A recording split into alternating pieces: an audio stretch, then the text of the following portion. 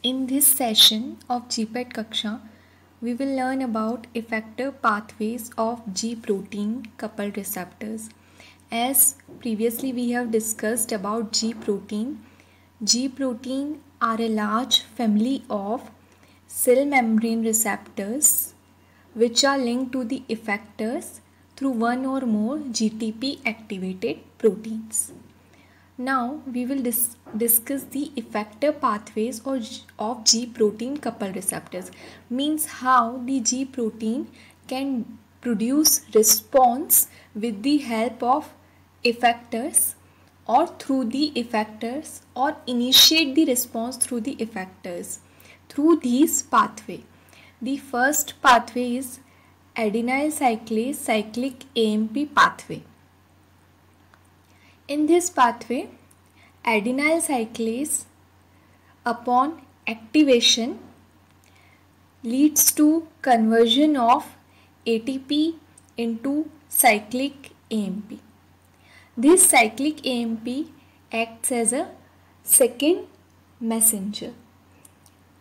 So, adenyl cyclase on activation leads to conversion of ATP to cyclic AMP which as second messenger and it directly opens the cyclic nucleotide gated channels in brain, heart and kidney. Cyclic nucleotide gated channels or in short you can say CNG.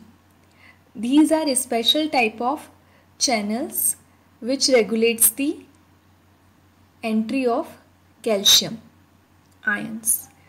So they directly cyclic AMP directly open cyclic nucleotide gated channel and also it functions through the PKA protein kinase cyclic AMP dependent protein kinase. This also directly activates cyclic nucleotide gated channels and also phosphorylates and alter functions of enzymes, ion channels and structural proteins. So in this way this pathway works. First of all the adenyl cyclase gets activated and it leads to conversion of ATP to cyclic AMP which acts as second messenger and in, it does activates protein kinase which thus phosphorylates and alters the function of enzyme, ion channel and structural protein. Wherever the word kinase appears, it generally leads to phosphorylation. Both of cyclic AMP and protein kinase directly opens cyclic nucleotide gated channels which are a type of calcium channels present in brain, heart and kidney.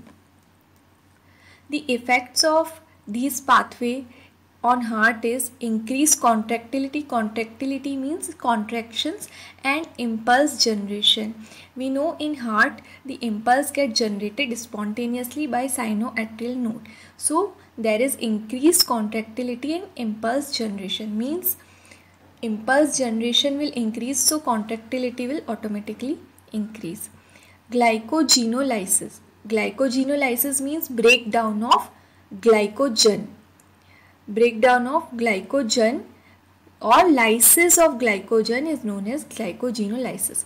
Lipolysis is breakdown of fat, inhibition of secretion. These are the effects of this pathway. Opposite responses are produced. Opposite responses to what? Opposite responses to these effects are produced when adenyl cyclase is inhibited by GI protein.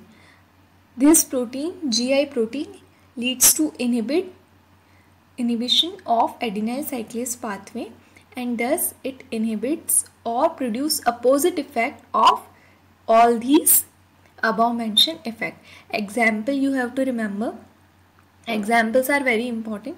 Beta adrenergic receptor. Beta adrenergic receptor acts through cyclic AMP pathway or adenyl cyclase cyclic AMP pathway. Second kind of pathway through which G protein coupled receptor function is phospholipase C IP3 DAG pathway.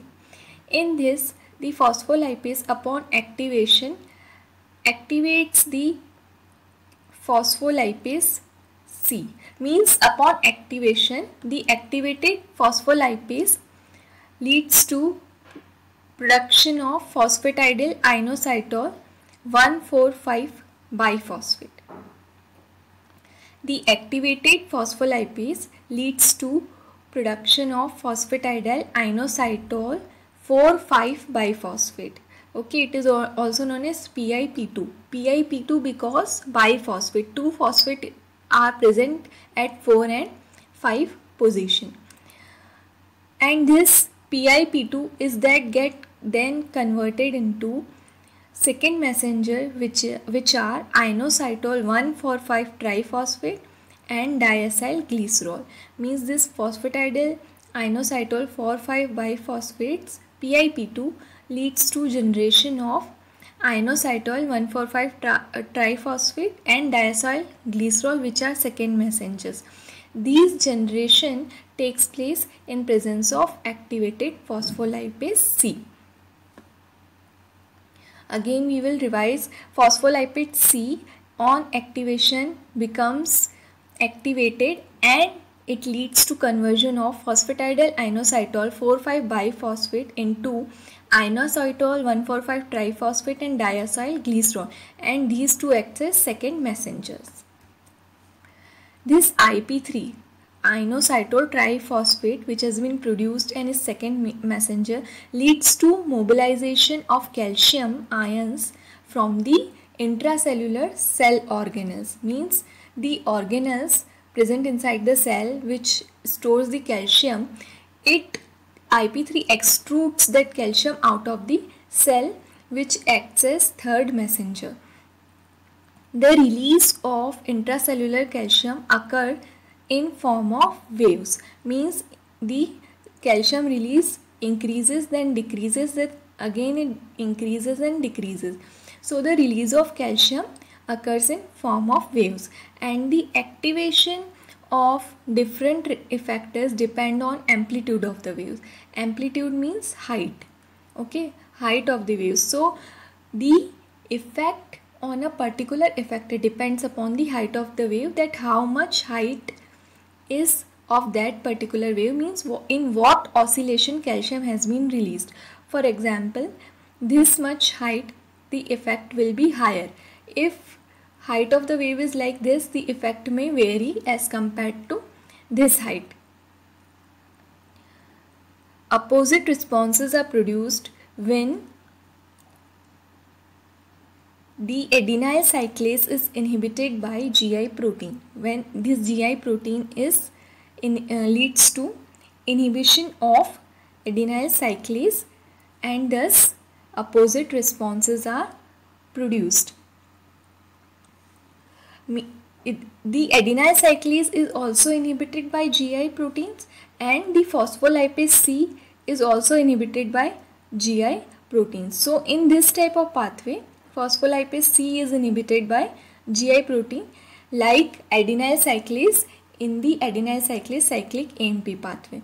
So opposite responses are produced when phospholipase C is inhibited by GI protein.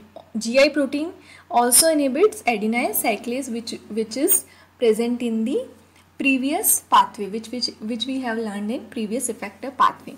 Examples of phospholipase C IP3 DAG pathway is alpha adrenergic receptor. The example of adenyl cyclase cyclic AMP pathway was beta adrenergic receptor and phospholipase C IP3 DAG pathway is alpha adrenergic receptor. Third type of pathway is channel regulation. The activated G proteins can open or close ionic channels. Ionic channels especially calcium, sodium and potassium. So activated G protein can leads to opening or closing of ion, ionic channels they can do so without involving any second messenger. In the channel regulation type of pathway, no second messenger and thus by opening and closing these channels, the G protein, the uh, activated G protein can bring the hyperpolarization and depolarization depending upon wh whether they are closing or opening such channels.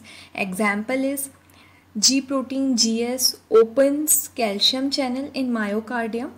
Myocardium means in the muscles of heart. So whenever the calcium channels open in the muscles of heart generally contraction occurs. GI opens potassium channel.